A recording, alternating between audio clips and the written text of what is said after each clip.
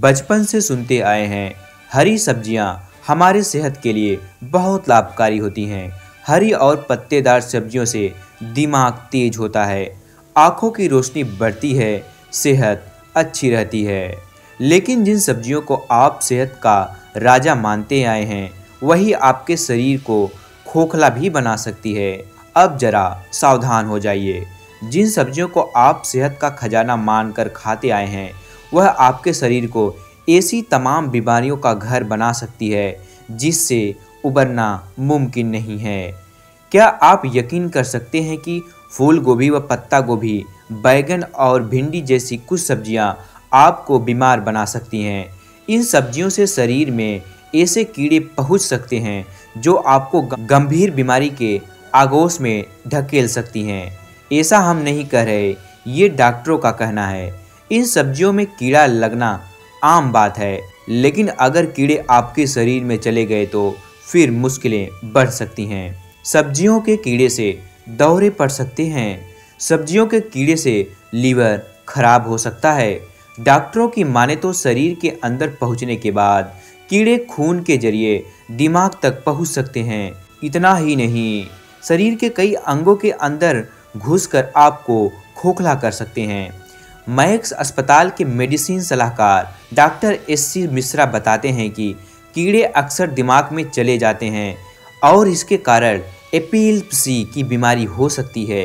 यही नहीं, कीड़े पेट में पहुंचकर उसे तो नुकसान पहुंचाते ही हैं, लेकिन साथ में ही पेट के रास्ते लीवर तक भी चले जाते हैं। जी हाँ सब्जियों के कीड़ों के लार्वा खाने के साथ पहले तो हमारे शरीर में जाते हैं और फिर वह खून के ज़रिए दिमाग तक पहुँच जाते हैं।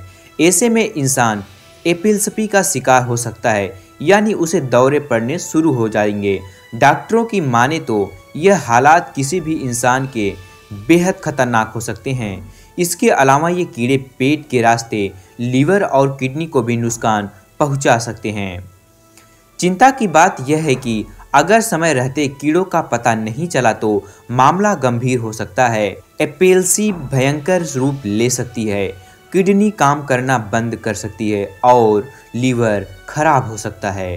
डॉक्टरों की माने तो सलाद के साथ बड़ा खतरा होता है। अगर आप हरी पत्तेदार सब्जियों का सलाद के तौर पर सेवन करते हैं तो उससे शरीर में कीड़े पहुँचने का खतरा बढ़ जाता है। तो सावधान हो जाइए और जब भी सब्ज़ी खाएँ तो उसे खूब देखभाल कर खाएँ, जाँच परख कर खाएँ कहीं ऐसा ना हो कि आपके सेहत का खजाना मान कर खा रहे वही सब्ज़ियाँ और सलाद आपको बीमार ना बना दें। भारत जैसे देशों में जहाँ साफ़ सफ़ाई पे कम ही ध्यान दिया जाता है, वहाँ फल, सब्ज़ियाँ, कच्चे मांस, जीवाणुओं के घर बन जाते हैं। गंदे पानी और वातावरण के ज़रिए ये जीवाणु सब्जियों और फलों को संक्रमित कर देते हैं। इनमें टैप, वर्म ई कोली जैसे आम जीवाणुओं भी कई बार जानलेवा साबित होते हैं। जरा इन खतरनाक कीड़ों, कृमि और जीवाणुओं के बारे में जान लीजिए। टैप वर्म सबसे खतरनाक कृमि है, जो सब्जियों और मांस में आम तौर पर पाया जाता है। ये भोजन के ज़रिए पहले पेट और फिर रक्त के साथ मिलकर शरीर के दूसरों हिस्सों, यहाँ तक कि मस्तिष्क में भी पहुँच जाता है। इससे इंसान इससे इंसान को न्यूरो कोसिन जैसी खतरनाक बीमारी हो सकती है। इस रोग से मिर्गी जैसे दौरे पड़ सकते हैं। टैप वर्म की तरह ई कोली और सेलमोनेला जैसे रोग पैदा करने वाले जीवाणुओं भी बेहद खतरनाक हैं और ये रोगाणु भी सब्जियों और फलों में पाए जाते हैं। फलों सब्जियों में पाए जाने वाले कोलोस्ट्रीडियम वेलुटाइम सीजेला, सेलमोनेला जैसे जीवाणु भी शरीर पर हमला करने से पीछे नहीं रहते हैं।